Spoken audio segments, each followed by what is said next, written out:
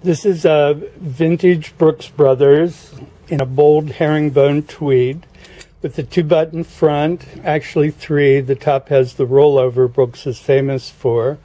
Flat pockets. Let's take a closer look at this great material.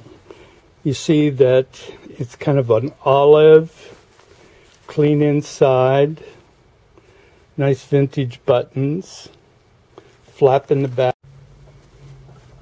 Inside here we see the Brooks Brothers label and it looks like a 41 which means it's going to be like half an inch difference from a 40 or a 42 probably we call it a slim cut. Full set lined with the double stitched pockets and the Brooks label is right here.